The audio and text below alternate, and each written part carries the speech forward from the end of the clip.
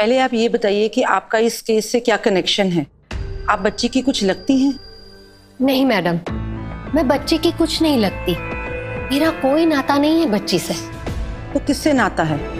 उससे जिसके हाथ में आपने इस केस का फैसला सौंपा है। सभी भोसले? जी मैडम। सभी को आप कैसे जानती हैं? मैडम वो सभी की बहन हरिनी की सास हूँ मैं। वैसे सवी मेरी बहू बनने वाली थी लेकिन मेरी किस्मत अच्छी थी कि मैं बाल बाल बच गई मैडम।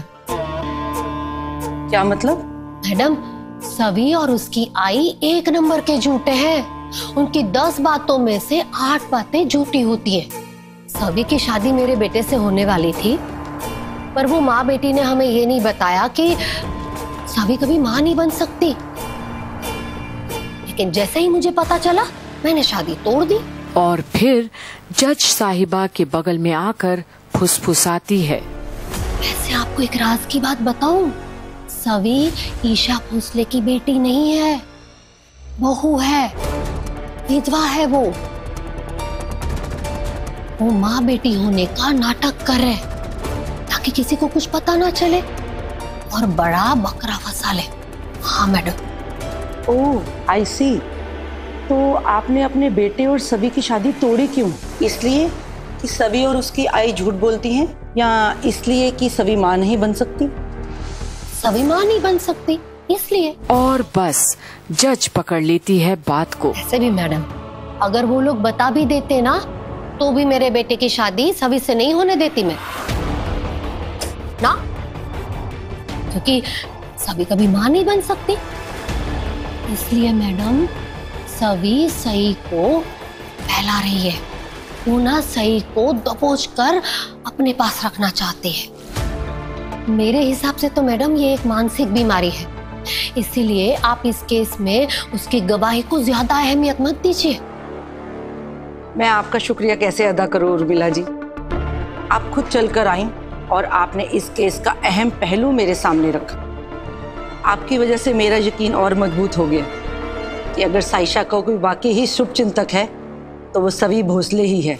और उर्मिला देखते की देखते ही रह जाती है जहाँ अब जज साहिबा अपना फैसला दोबारा सुनाती है और उर्मिला का तो मकसद ही फेल हो गया। ये आप क्या कह रही हैं मैडम? मैं जो कह रही हूँ ना वो आप समझ ही नहीं पाएँगे। छोड़िए आप उसके लायक ही नहीं हैं। सभी और साइशा के रिश्ते को समझने के लिए वो नज़रिया चाहिए, जिससे आप अपनी छोटी सोच से आगे देख सकें। ये बात वही समझ सकता है, जिसके दिल में लालच और स्वार्थ नहीं, बल्कि प्यार हो, मोहब्बत हो और दया हो।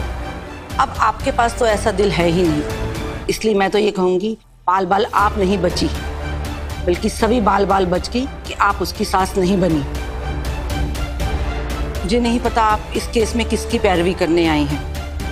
आप क्यों सभी को बदनाम कर रही हैं? वो जो भी है आप जैसी औरत का साथ उसे नुकसान ही करेगा। इसलिए आपको जिसने भी भेजा है उसे जाकर कह देना कि फैसला आज भी सभी के हाथ ही है क्योंकि एक वही है जो सही से प्यार करती है।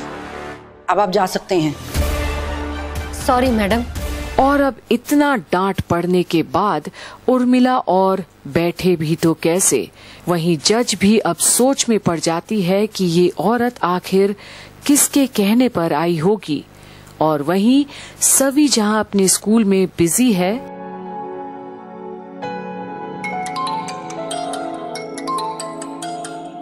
ये कौन है? हेलो?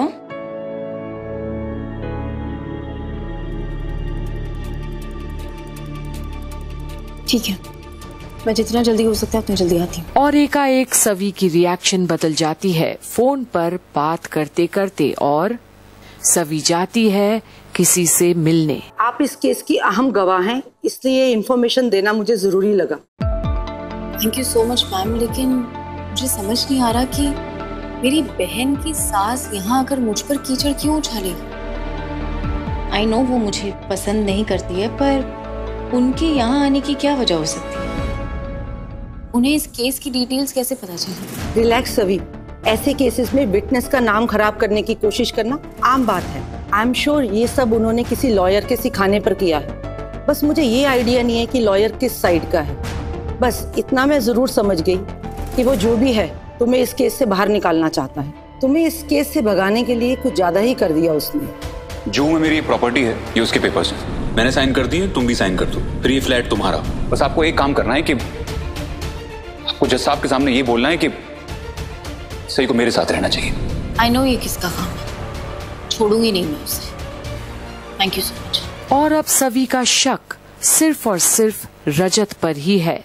पर वहीं उर्मिला किसी के ऑफ़िस में घबराई हुई बैठी पानी पी रही है जब मैंने जज मैडम के सामने सभी की बहुत बुराई मेरा मतलब है कि सभी का पूरा सच बताया उनको। पर पता नहीं क्यों उन पे किसी बात का कोई असर ही नहीं हुआ। अरे वो तो उल्टा मुझ पे ही भड़क गई।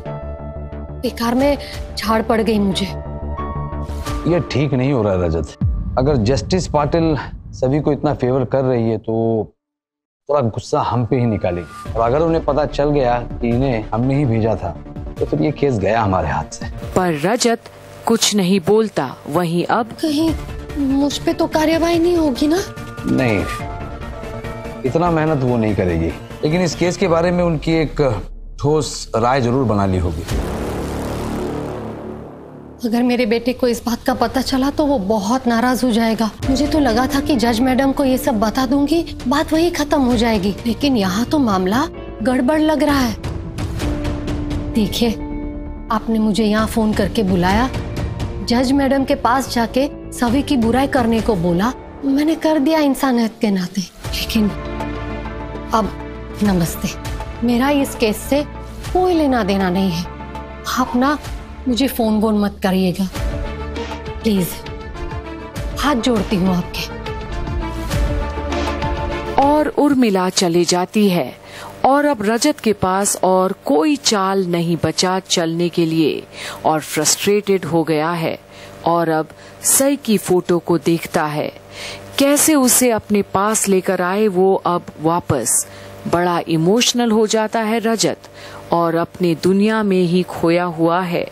देखते रहिए आगे कौन सा दाव खेलेगा रजत सही को पाने के लिए यही कंप्लीट बॉलीवुड पर। घूमे किसी के प्यार में की सारी अपडेट्स पर। कैसे इंसान है आप हाँ? इंसान है भी या नहीं? और जब कुछ नहीं कर पाए तो कानून के साथ खिलवाड़ कर रहे हैं आप? मियाँ क्या कर रही हो? मेरे ही ऑफ़िस में आकर मुझे ही सुना रही हो। हाँ दरवाज़ा इसलिए बंद किया था क्योंकि बात आपकी पर्सनल लाइफ से जुड़ी हुई है बट यू नो व्हाट